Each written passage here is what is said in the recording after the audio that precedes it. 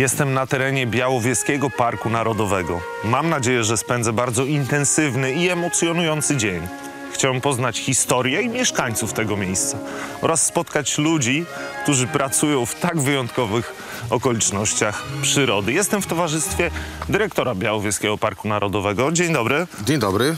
Michał Krzysiak. Tak, bardzo mi miło. Witamy w najstarszej części parku, czyli przy bramie do rezerwatu ścisłego tutaj e, w części od strony Białowieży. Proszę mi opowiedzieć o historii tego miejsca. Historia tego miejsca no, sięga kilkuset lat, lat wstecz, bo ten las był tutaj pielęgnowany zarówno przez wielkich y, książąt litewskich, królów polskich, no i później podczas zaborów przez y, carów rosyjskich. Po odzyskaniu niepodległości już w 1921 roku na terenie Puszczy Białowieskiej powstały pierwsze rezerwaty, których to część w 1932 roku stała się Parkiem Narodowym w Białowieży, przemianowanym na Białowieski Park Narodowy w 1947 roku.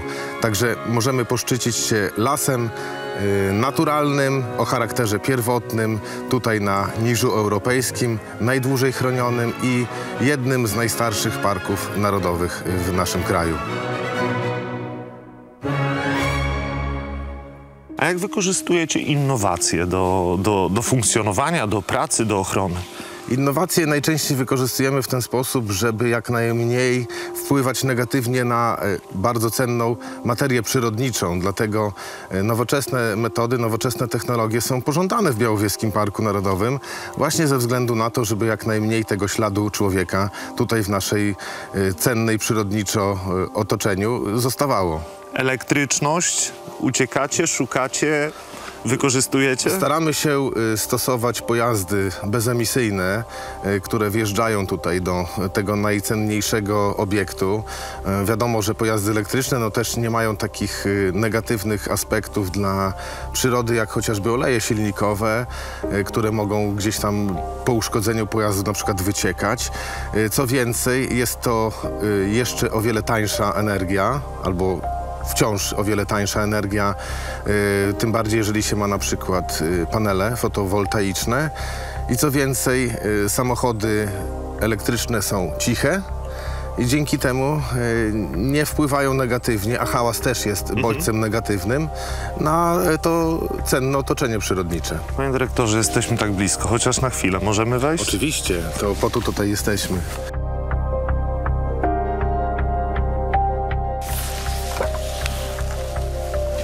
Jesteśmy w sercu i to czuć, naprawdę. Jest specyficzny klimat, ale panie dyrektorze, czym to się różni, to miejsce, ten prastary las? Przede wszystkim różni się formą ochrony przyrody, ponieważ tutaj mamy ochronę ścisłą, czyli najwyższą formę ochrony w Parku Narodowym i zasadniczo nie robimy tutaj nic, oprócz tego, że usuwamy drzewa z drogi, po której teraz idziemy i po prostu kładziemy ją obok. Y, Obserwujemy procesy przyrodnicze i chronimy tak naprawdę ten najstarszy fragment. Ale pewnie pan jest ciekawy, dlaczego się tutaj znaleźliśmy. Tak. Otóż w tym naszym rezerwacie ścisłym mamy udostępnioną ścieżkę turystyczną. Czyli tu można wejść. Tak, tu można wejść, ale tylko z przewodnikiem, y, z osobą, która się nami opiekuje i w niewielkiej grupie, bo maksymalnie dziesięcioosobowej. Staramy się nie naruszać tego spokoju, który tutaj panuje, ponieważ y, ma być to jak najbardziej zbliżone do natury. Czy człowiek nie dotknął tego miejsca od setek lat? Nie, To nie, ingerował? to, to nie jest tak, że nie dotknął, y, nie wpłynął znacząco na Mhm. ekosystemy tutaj y, Białowieskiego Parku Narodowego Puszczy Białowieskiej i dlatego możemy mówić, że to są ekosystemy naturalne, miejscami o charakterze pierwotnym. W 1921 roku, kiedy przybyli tutaj polscy naukowcy na czele z profesorem Schaferem w poszukiwaniu ostatnich żubrów, tych żubrów nie znaleźli, ale zachwycili się tą unikatową przyrodą, unikatową na skalę Europy, ale także i świata, ponieważ jest to jedyny las w Europie w tym stylu na nizinie. Czyli wy macie na sobie naprawdę bardzo dużą odpowiedzialność, bo setki lat, wielka historia, piękna historia i bardzo ciekawe miejsce. Myślę, że śmiało tak można powiedzieć, tym bardziej, że Białowieski Park Narodowy od ponad 40 lat jest światowym dziedzictwem UNESCO, czyli został już doceniony w 79 roku ubiegłego wieku przez, społecz- przez społeczność międzynarodową. Wiedziałem, że dobrze wybrałem cały dzień w takim wyjątkowym miejscu. Ja jestem w towarzystwie pani Katarzyny Daleszczyk, która opowiada bardzo pięknie, ale ja muszę zacząć od samego początku. Co jedzą w tym środowisku, które e, jest imitowane na naturalne w tej hodowli? Tak, my staramy się utrzymywać takie właśnie półnaturalne warunki. E, W naturze żubry są trawożercami, czyli po prostu jedzą trawę, jedzą różne rośliny zielne, bardzo chętnie jedzą na przykład pokrzywę, którą widzimy tutaj też już dość mocno poprzygryzały. Poza trawą lubią też pokarm drzewiasty, czyli gałęzie, pędy, liście, owoce e, drzew i krzewów. jeden wielki szwedzki stół, tak możemy powiedzieć. Tak możemy powiedzieć. I my właśnie to staramy się imitować e, tutaj u nas e, w rezerwacie. Mm, W każdej takiej zagrodzie, którą mamy dla żubrów, mamy cztery zagrody, jest właśnie pastwisko, jest część taka e, zalesiona. My jeszcze dodatkowo dodajemy im właśnie gałęzie z liśćmi, aby mogły uzupełniać sobie pokarm. Proszę mi powiedzieć, dlaczego tylko jeden byk znajduje się w stadzie tak... Y, W stadzie mamy tylko jednego byka, ponieważ y, chcemy wiedzieć po pierwsze, kto jest ojcem cieląt, które się tutaj rodzą, ponieważ wszystkie żubry, które mamy w, hodowle, w hodowli zamkniętej mm, są zgłaszane do Księgi Rodowodowej Żubrów, która spisuje wszystkie żubry czystej krwi i znamy wtedy pochodzenie od pierwszych założycieli aż do danego zwierzęcia. A po drugie, y, żubry w czasie sezonu godowego no po prostu walczą o dostęp do żubrzyc, które są w rui. Teraz właśnie sierpień, wrzesień mamy okres godowy u żubrów i właśnie taki byk w naturze wędruje od jednej grupy do drugiej, szuka żubrzyc, które właśnie byłyby skore do rozrodu i stara się zwrócić ich uwagę, a jednocześnie, jeżeli są inne dorosłe byki w stadzie, stara się je po prostu odgonić. Pięknie to wygląda, ale naprawdę całą uwagę moim zdaniem kradnie ten najmniejszy e, osobnik. E, Jak e, to wygląda? Kiedy zaczynają się, kiedy zaczyna się ten okres rozrodczy? E, Sezon godowy e, mamy właśnie teraz, czyli teraz krowy są kryte i jakby rozpoczyna się ciąża, a za jakieś niespełna 9 miesięcy, tak mniej więcej od maja do lipca, właśnie przychodzą na świat małe żuberki i takiego jednego gościa tutaj możemy obejrzeć. To jest tegoroczny byczek, który ma już dwa miesiące. Jest pełen wigoru. I Jak no, długo zostanie Aha. tutaj? E, Myślę, że do roku, bo mniej Mhm. więcej koło roku karmi go żubrzyca. Następnie my go zabierzemy, aby e, albo wsparł nasze inne grupy hodowlane, albo po prostu pojedzie do jakiejś innej populacji na zewnątrz. Czyli ta wymienność jest czymś naturalnym, właśnie Tak. po to to robicie. Chodzi Tak. o utrzymanie genów, chodzi o utrzymanie jak najbardziej zróżnicowanego stada? Tak, właśnie o to chodzi, ponieważ wszystkie żubry m, przeszły kiedyś przez bardzo wąskie tak zwane e, gardło, kiedy m, te, które były na wolności wyginęły i wszystkie żubry, jakie mamy na świecie pochodzą od zaledwie kilku osobników. E, linia nizinna, którą tutaj mamy pochodzi od siedmiu założycieli. Ta pula genowa jest bardzo ograniczona, więc my się staramy, znając pochodzenie żubrów, e, tych, które mamy w niewoli, właśnie tak komponować nasze grupy hodowlane, aby były jak najbardziej zróżnicowane genetycznie, aby te cenne geny, które są rzadkie, były jak najszerzej reprezentowane. I właśnie potomstwo tych cennych zwierząt potem trafia do innych, To zróżnicowanie ma chronić całą grupę? tak, ma chronić cały gatunek, ponieważ e, żubry, ponieważ są podobne do siebie genetycznie, e, mają też pewne takie słabe punkty. Między innymi są bardzo podatne na różne e, choroby, które mogą je zaatakować z zewnątrz. Jeżeli jeden żubr jest czuły na jakąś chorobę, wrażliwy, to znaczy, że tak naprawdę wszystkie żubry będą wrażliwe, ponieważ ta ich zmienność jest bardzo ograniczona. Więc y, zachowywanie tych rzadkich, cennych genów jest bardzo ważne, ponieważ być może w którymś momencie jakieś żubry jednak okaże się, że mają ten jakiś plus, który daje im przewagę nad innymi. Ja widzę tutaj same plusy, więc e, stoimy, stoimy cicho, stoimy spokojnie i obcujemy z naturą, podziwiamy piękno. I cieszymy się, że mamy tak piękne zwierzęta.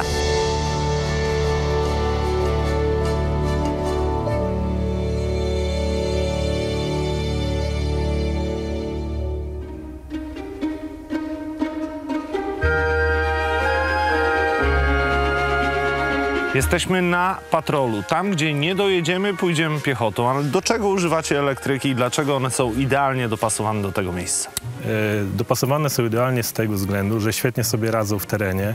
E, Kona na przykład ze względu swój, na, swój kompaktowy e, charakter pozwala nam wygodnie się zawracać i wjeżdżać nawet w bardzo wąskie drogi. Do tego porusza się bardzo cicho, co jest bardzo ważne w specyfice Parku Narodowego. Ma bezemisyjny napęd, także nie szkodzimy y, przyrodzie korzystając z niej. Do tego całkiem dobry zasięg pozwala nam skutecznie y, penetrować każdy zakątek Parku, Nadoro- Parku Narodowego, ale nie tylko. Dojechaliśmy na miejsce, idziemy piechotą, obserwujemy zwierzęta i co? Liczymy, sprawdzamy ich stan zdrowia, próbujemy im pomóc. Przede wszystkim naszym zadaniem jest e, monitorowanie całej populacji żubrów w Puszczy Białowieskiej. Nie tylko w Białowieskim Parku Narodowym, ale także tych wszystkich żubrów, które mieszkają w puszczy i poza puszczą. Obserwujemy. To jest główna rzecz, którą zajmuje się Ośrodek Hodowli Żubrów Białowieskiego Parku Narodowego oraz służby weterynaryjne. Zawsze zwracamy uwagę na wszelkie nieprawidłowości, o, na osobniki, które odstają od normy.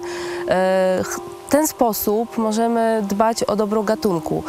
W tym momencie nie, liczy się, nie liczą się nam jednostki jako pojedyncze osobniki, ale dobro całej populacji, ponieważ e, choroby zakaźne, choroby inwazyjne, choroby pasożytnicze mają bardzo negatywny wpływ na życie zwierząt. I jeżeli my jako lekarze weterynarii, a także pracownicy ośrodka hodowli żubrów przeoczymy coś, to może to się odbić e, tak naprawdę w zdrowiu i kondycji całej populacji, więc bardzo istotnym jest bardzo dokładna obserwacja Wielokrotna obserwacja. Nigdy nie polega to na tym, że widzimy jedno stado, przeliczymy ilość osobników i stwierdzimy, że wszystko jest ok. Nie, my bardzo często wracamy do każdego ze stada. Przez cały okres zimowy praktycznie spędzamy w terenie. Wiemy, gdzie te stada się przemieszczają, ponieważ e, stosujemy też telemetrię i dzięki temu możemy sukcesywnie obserwować e, po pierwsze ich wędrówki, a także kondycję i stan tych zwierząt. Lato to jest okres, kiedy na świat przychodzą e, młode. To jesień i zima jest chyba najtrudniejszym momentem dla was. Najwięcej pracy, tak można Czy powiedzieć. wiąże się on z największą ilością wyzwań, dlatego że musimy skutecznie monitorować e, właśnie stada żyjące na wolności, e, oceniać ich e, kondycję, strukturę wiekową-płciową. Przede wszystkim liczyć się, żeby wiedzieć, czy populacja ma się dobrze. No jeżeli obserwujemy coś niepokojącego, no to wtedy reagować. No. Bardzo ciekawa historia, jak żubry podchodzą do siedlisk ludzkich, trzeba je czasami wywieźć na drugą stronę, 15 albo 20 kilometrów dalej i tak jak rozmawialiśmy w trakcie e, dzisiejszego dnia, one potrafią wrócić. Zdarza się, tak, tak.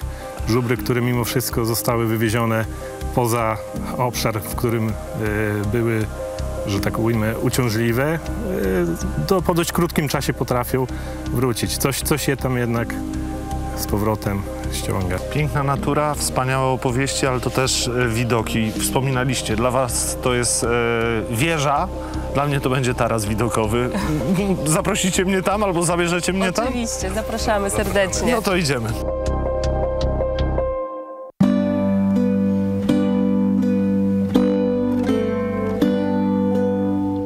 Kontynuuję moją wyprawę po Białowieskim Parku Narodowym. Trochę już widziałem, czekam na to, co jest najważniejsze, czyli na odgłosy, na dźwięki, bo przyjechaliśmy na rykowisko, ale z panem Jerzym Adamiukiem porozmawiamy o pracy, bo ja się tak zastanawiam, czy to jeszcze praca, czy pasja, czy coś, co przyszło z DNA, z urodzenia, z wychowania.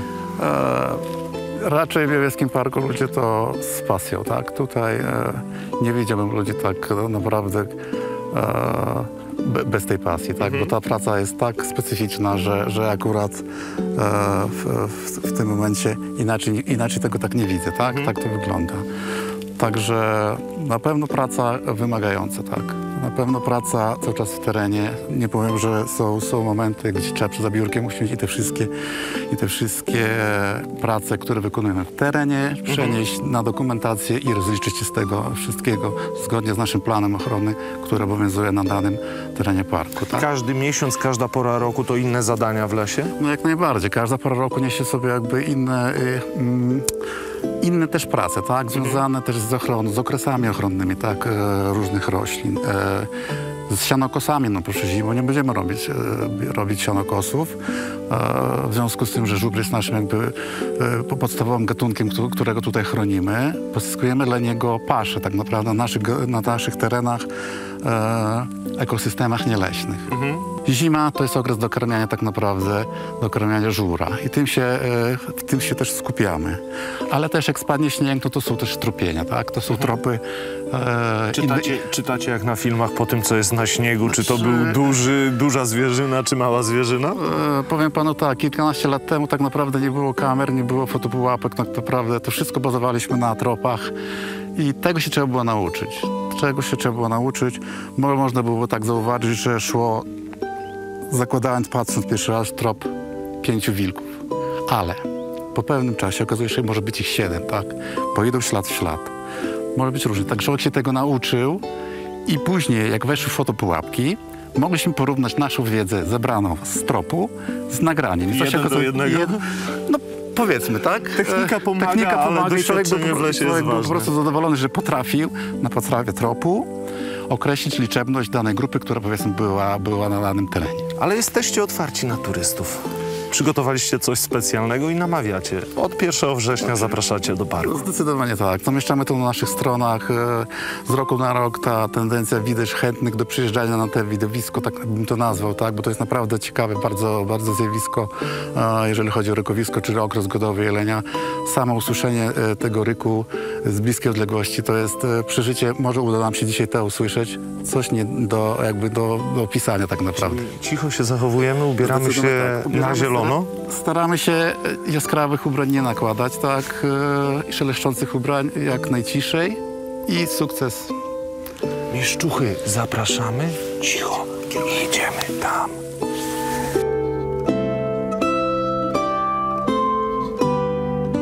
To była niesamowita wyprawa do Białowieskiego Parku Narodowego. Karmiłem żubry, jeździłem elektrykiem na patrolu, rozmawiałem z panem dyrektorem na temat historii tego wyjątkowego miejsca oraz spotkałem ludzi, dla których przebywanie w parku to nie tylko praca, ale i pasja. A teraz to, co najważniejsze: cisza, spokój i rykowisko.